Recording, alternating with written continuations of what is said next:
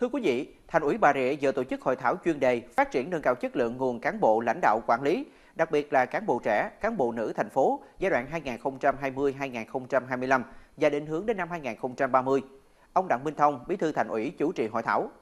Thời gian qua, Thành ủy Bà Rịa đã chú trọng xây dựng đội ngũ cán bộ lãnh đạo quản lý, nhất là cán bộ trẻ, cán bộ nữ, đảm bảo tiêu chuẩn về trình độ chính trị, chuyên môn, đáp ứng nhu cầu nhiệm vụ được giao.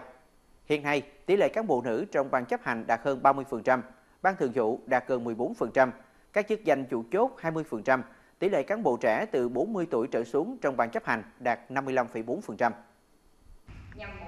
Đề án phát triển nâng cao chất lượng nguồn cán bộ lãnh đạo quản lý, đặc biệt là cán bộ trẻ, cán bộ nữ thành phố Bà Rịa giai đoạn 2020-2025 và định hướng đến năm 2030, đề ra mục tiêu phấn đấu đến năm 2025. 100% cán bộ đảng viên thành phố được đào tạo bồi dưỡng lý luận chính trị. 100% cán bộ công chức viên chức được bồi dưỡng cập nhật kiến thức quản lý nhà nước. Tỷ lệ cán bộ trẻ, cán bộ nữ giữ các chức danh lãnh đạo quản lý đạt 30%, tham gia cấp ủy đạt 15%.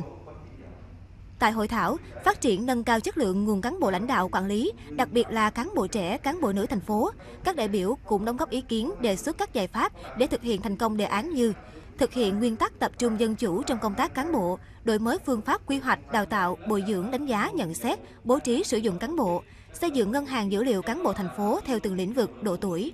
Bí thư Thành ủy Bà Rịa, ông Đặng Minh Thông yêu cầu ngành chức năng nghiên cứu bổ sung hoàn thiện đề án nhằm nâng cao chất lượng đội ngũ cán bộ lãnh đạo quản lý thành phố. Đây cũng là một trong ba nội dung đột phá mà Đại hội đại biểu Đảng bộ thành phố Bà Rịa lần thứ 6, nhiệm kỳ 2020-2025 đã đề ra.